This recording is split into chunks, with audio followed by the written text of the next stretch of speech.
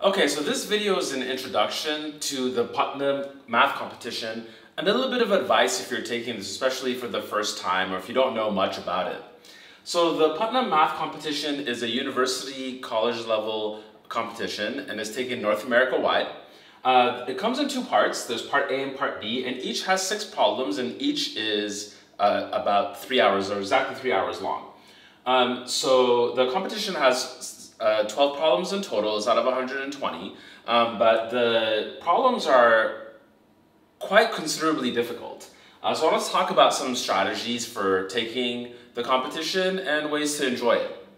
So first of all, um, a little comment on the grading scheme. So every single problem is worth 10 points. And it's typically the case that people earn either 0, 1, 2, 8, 9, or 10 out of 10 on a problem. So you're typically getting very few points or you're getting quite a few points, right? And this tells you that what graders are really caring about is the depth to which you get to a solution. So you either get a lot of points for coming really close to a correct solution, or if there's at least one uh, quite strong flaw, then you're getting uh, pretty much no points. So you're rewarded for depth versus breadth. It makes a lot of difference to get through as much as you can one problem rather than making a few comments on many problems.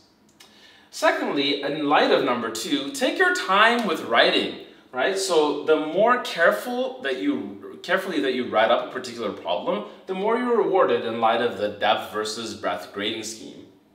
And lastly, you'll have a lot of time to do this contest, uh, so I say enjoy the problems. Uh, take a read at the problems before you even start them and let the, your, your mind sort of sink into a lot of the problems while you're working on other ones. But really look at any particular problem and try to enjoy the problem, see where you can go with it, um, and just have fun.